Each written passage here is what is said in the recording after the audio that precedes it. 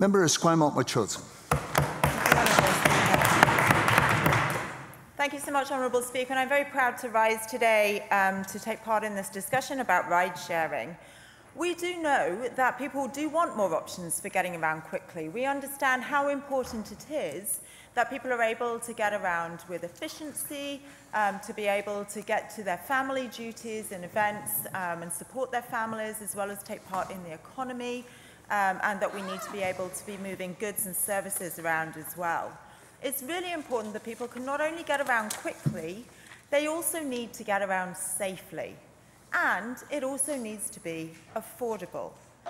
Ride sharing enters into that domain and offers some solutions for us to be able to enhance the lives of British Columbians and the economy of British Columbia um, by bringing ride sharing to BC. And we have, the, the, the gov NDP government has said, we will bring ride sharing to BC and we will do it in the right way. Mm-hmm. We're here for a win-win for British Columbians. So we're going to create a Made in BC solution.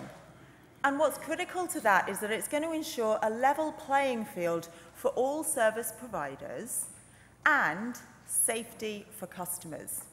So our plan is not only going to protect jobs, jobs that currently exist in British Columbia, where families are relying on people being employed in that sector, we're also going to make sure that British Columbians have access to modern ride-sharing services that they expect. And Dr. Dan Hara said it best. He said, whenever there's a new technology that does offer potential benefits and net improvements, it's always possible to allocate those benefits so that there's a win-win-win. And that's going to be our approach, Mr. Speaker. Our government is committed to bringing in a safe and fair and accessible made in BC solution for taxis and ride-sharing vehicles in BC. And there is a lot of work that needs to be done, particularly with the taxi industry.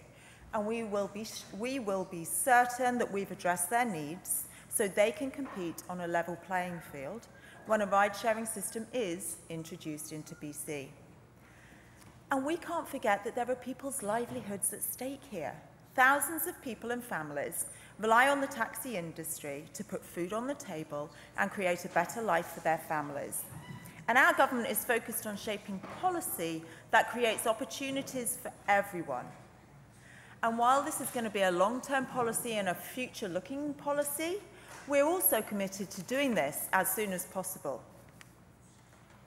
However, we do understand in the throne speech, the members opposite agreed that this couldn't be done by the end of this year. Uber first approached the previous government in 2012. Honourable Speaker, they had five years to address this matter. But the BC Liberals were more interested in putting out a press release before the election than in actually bringing a workable solution of ride sharing to BC.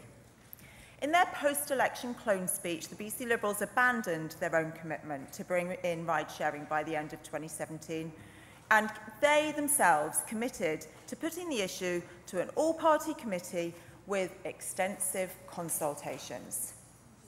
So yes, Honourable Speaker, your new government has hired the industry expert, Dan Hara, to engage with the taxi industry and stakeholders to make recommendations that will create a fair and level approach to ride sharing in British Columbia. An approach that reflects the significant investment that tax the taxi industry has made and doesn't unfairly benefit or punish one group over the other.